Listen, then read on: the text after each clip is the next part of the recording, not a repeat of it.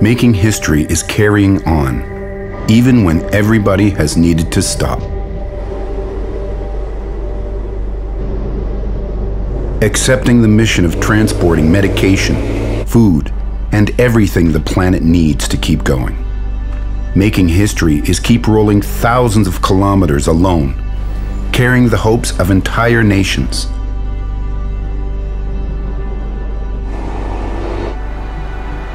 To realize that, despite the distance, thousands of us are traveling together. Making history is moving ahead, certain that every storm comes to an end. No matter what our difficulties are, we will overcome them together.